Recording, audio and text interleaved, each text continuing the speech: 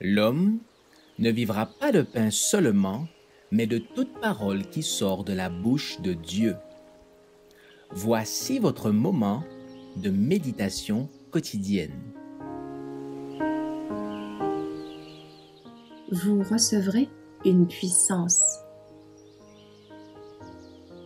Un feu ardent, le 14 janvier.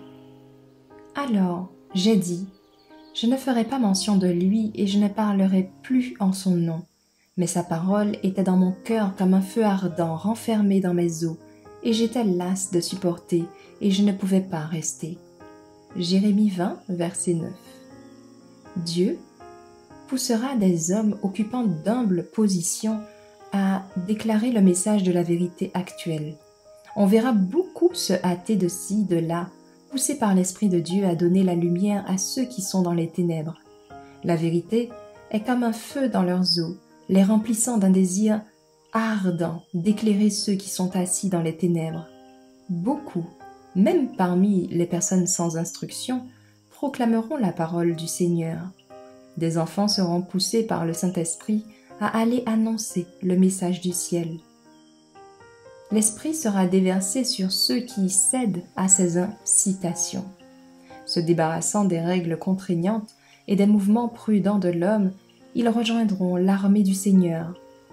Dans l'avenir, des hommes de la vie courante seront incités par l'Esprit du Seigneur à quitter leur emploi ordinaire et à aller proclamer le message de miséricorde.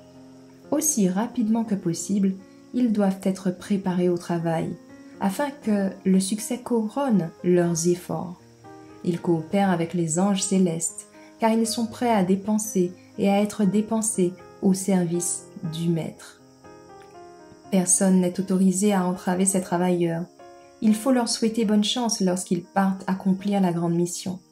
Aucun mot de raillerie ne doit être prononcé à leur égard, alors qu'ils sèment la semence de l'Évangile dans les endroits difficiles de la terre. Les meilleures choses de la vie, la simplicité, l'honnêteté, la véracité, la pureté, l'intégrité sans tache, ne peuvent être achetées ou vendues elles sont aussi libres pour l'ignorant que pour l'instruit, pour l'homme noir que pour l'homme blanc, pour l'humble paysan que pour le roi sur son trône. Les humbles travailleurs qui ne se fient pas à leur propre force mais qui travaillent dans la simplicité en se confiant toujours à Dieu participeront à la joie du Sauveur. Leurs prières persévérantes amèneront les âmes à la croix en coopération avec leurs efforts d'abnégation, Jésus agira sur les cœurs, faisant des miracles dans la conversion des âmes. Des hommes et des femmes seront rassemblés dans la communauté de l'Église. Des salles de réunion seront construites et des écoles établies. Les cœurs des ouvriers seront remplis de joie en voyant le salut de Dieu.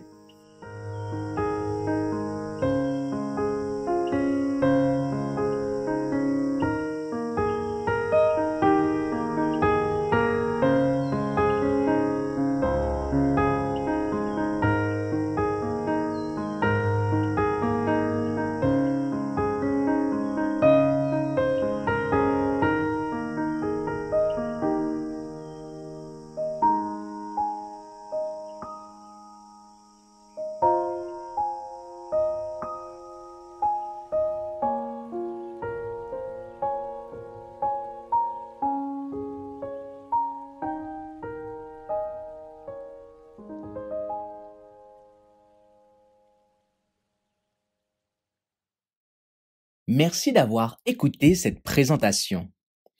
Assurez-vous de nous rejoindre demain pour votre moment de méditation quotidienne avec le reste.org.